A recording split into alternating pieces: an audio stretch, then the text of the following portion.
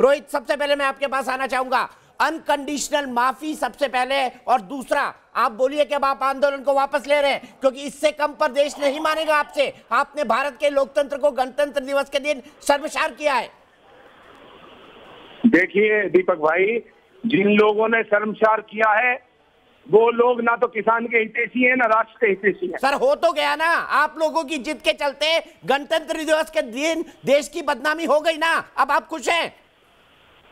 देखिए, हमारी जीत तो केवल अपने अधिकारों के लिए, न्याय की, लड़ाई लड़ने के लिए थी। हमारी जीत ना तो ऐसी थी कि हम देश को कभी शर्मसार करें, ना कभी कर सकते। ये हमारे खून में नहीं है। जिन लोगों ने किया क्या था? वो वो दिखाई दे रहा है। आईटीओ पर बच्चों को आगे खड़ा किया जा रहा है। पुलिस से बचने के लिए इससे ज़्यादा शर्मिंदगी की बात और क्या हो सकती है? अन्नदाता अपने बच्चों को आगे कर रहे हैं। पुलिस कांस्टेबल को पीटा जा रहा है। लाल किले के प्राचीर पर तिरंगे का अपमान किया जा रहा है। इससे ज़्यादा और क्या चाहते हैं रोहित जाखड़ आप?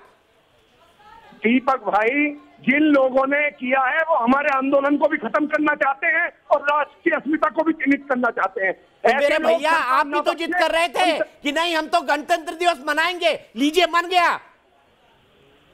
देखिए गणतंत्र दिवस पे हमारे कोई भी ऐसी घटना हमारी तरफ़ से ना होने की हमने पूरी प्रतिबद्धता थी। लेकिन कुछ चुनिंदा ये लोग क्या प्रतिबद्धता थी आपकी रोहित साहब? अब ये ये लंबे लंबे नेताओं की तरह बात मत करिए। अन्नदाताओं पर शोभा नहीं देता। आपको तो अनकंडीशनल माफ़ी मांगनी चाहिए और दूसरी बात आपको कहना चाहिए अब इस आंदोलन का कोई औचित्य नहीं रह गया। ये दिशा भटक चुका है। जो आंदोलन देश के लोकतंत्र को शर्मसार कर दे जो संवैधानिक व्यवस्था को ना माने उस आंदोलन के रहने का कोई औचित्य नहीं है।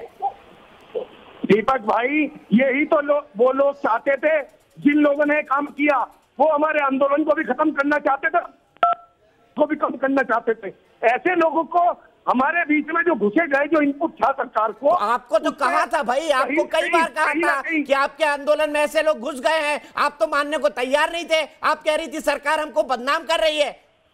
दोनों तरफ़ चित भी मेरी और पद भी मेरी रोहित जाखड़ जी नहीं हो सकता। देश के लोग समझते हैं। चिटपट नहीं है। देश देश के स्वाभिमान से ज़्यादा ना किसान के लिए कभी कोई चीज़ थी तो सबसे पहले अनकंडीशनल माफ़ी मांगिए आप। जो कुछ हुआ उसके लिए माफ़ी मांगिए। क्योंकि ट्रैक्टर मार्च की जिद आपकी थी। दीपक भाई जो कुछ जिसने भी किया वो किसान हितैषी नहीं है वो बहुत शर्मनाक है और मैं दिल से नतमस्तक होकर राष्ट्र के प्रति ये अपमान कहने और सहा नहीं जा सकता।